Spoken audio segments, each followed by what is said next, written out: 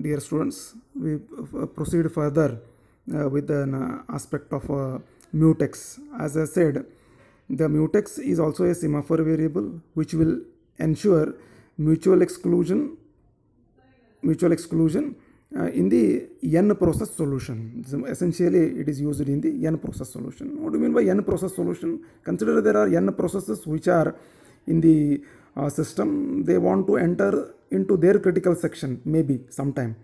So, if all those n processes they want to enter into their critical section either at the same time or at the different time, it must be ensured that no other process are there in the in their critical section so in a nutshell must ensure that only one process is in its critical section other should be in their non critical section so in order to achieve this we have a semaphore variable called as a mutex and we have two um, primitives which i already mentioned. One is wait another one is signal. The purpose of wait here is it will ensure that uh, it will ensure that uh, the process uh, is waiting until another process is in the critical section and if that process has released its entry i mean it has exited from its critical section then it will set it to 1 and this process will make sure that it will uh, set it to 0 and then enter it to enter into its critical section. Uh, this is a um, uh, wait which will do s minus minus in the sense it will capture the critical section part. And then here signal will enter into the critical section. Now i will uh, take up the usage of the uh, what i call it as an mutex variable as i mentioned mutex is an uh, semaphore variable which is used for n process solution. Now we will uh, move on to the mm, one loop which we call it as a do while which we are you are very much familiar in general usage. So do while it is an infinite loop because it is an it will execute until uh, by, by default it is always true.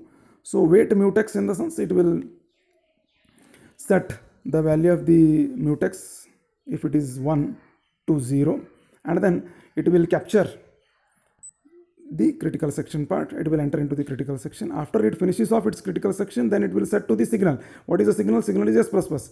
Here it sets to 0 it allows to it will itself enter into the critical section. After its critical section job is over the same process will set it to 1 by making signal as s plus plus. Then this is remainder section and then it will be an exit section so now we shall take up another important aspect uh, this uh, concept of uh, mm, wait and signal is uh, better explained using two different uh, algorithms uh, problems called as an reader writer problem and then um, what we call it as an um, uh, dining table philosopher problem.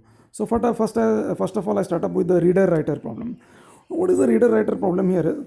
See, reader writer, the name itself says it's a very simple, straightforward uh, uh, meaning. Where reader are those who are reading the uh, matter, and the writer is one who is writing the matter.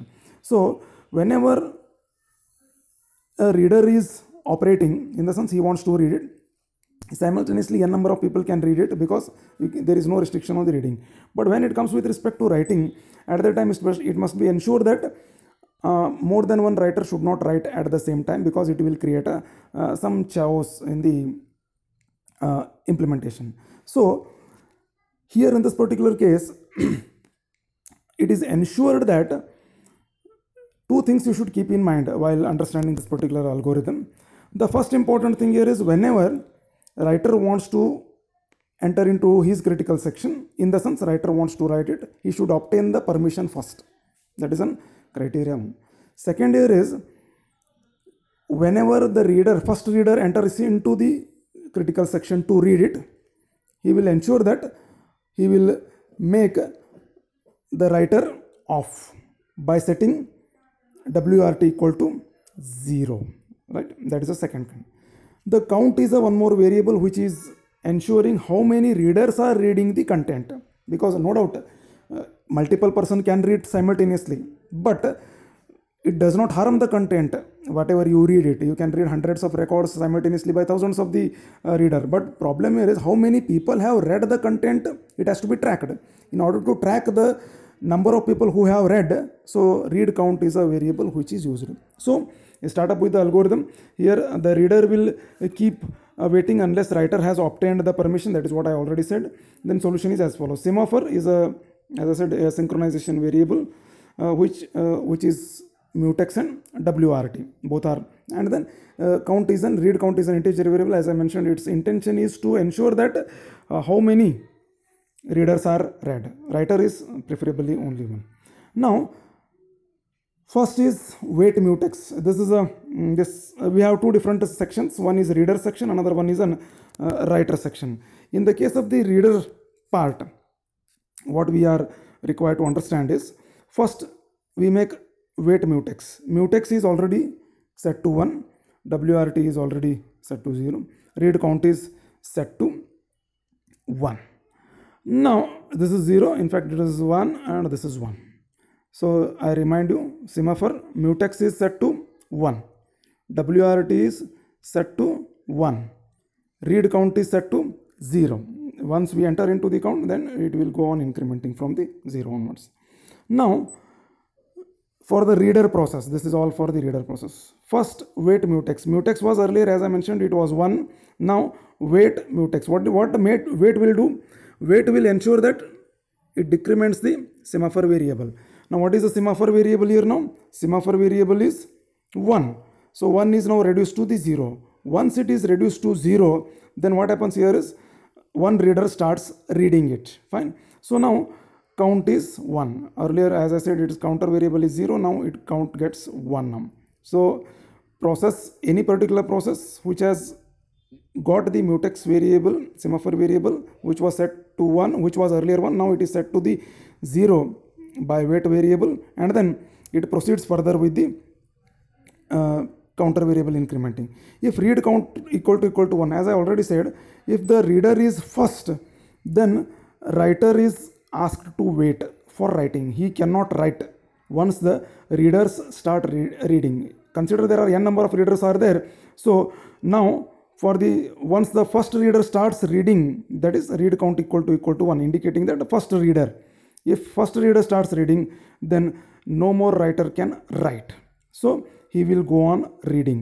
Once his reading is over he will signal the mutex and then reading is being performed. Then he will set uh, uh, mutex equal to 0 and then counter is decrement. If the count equal to equal to 0 then indicating that uh, first uh, then uh, signal writer. So now writer can start writing and then a mutant now when we come to the writer process part here wait wrt what is a wait wrt wait wrt will ensure that it captures for writing. So it sets to 0 writing is been performed. Once the writing is over it will increment the semaphore variable by setting it to 1 so that another writer can write it or further reader can proceed with the reading. Thank you